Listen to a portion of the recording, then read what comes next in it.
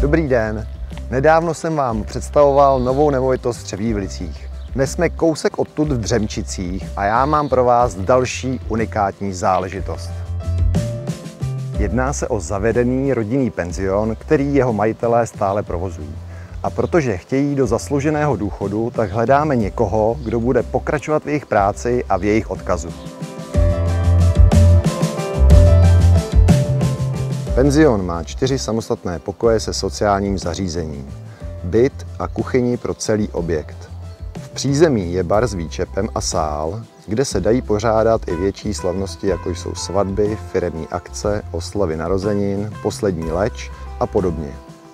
K dispozici je zahrádka pro hosty i kolendoucí. V podkroví pak najdeme místo na dostavbu několika dalších apartmánů nebo pokojů. Užitná plocha je 390 metrů čtverečních, podkroví je pak dalších 230 metrů čtverečních a je tu 25 metrů velký sklep.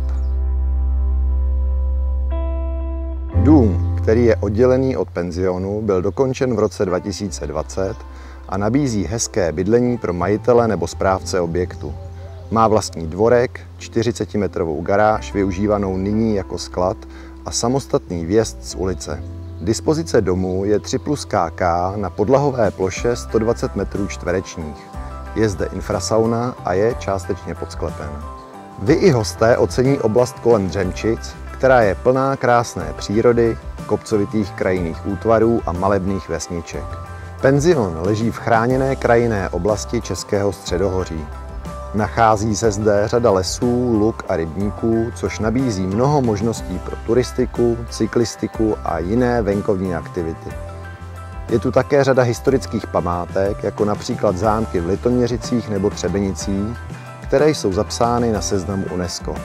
S trochou nadsázky naleznete na každém kopci nějaký hrad nebo hradiště. V blízkých Třebívlicích se pravidelně pořádají větší kulturní akce. Chcete-li mít vlastní rodinný penzion v turisticky atraktivní lokalitě chráněné krajinné oblasti, bude se vám tato nabídka líbit. Jmenuji se Ládi Jandáček a těším se na společnou prohlídku.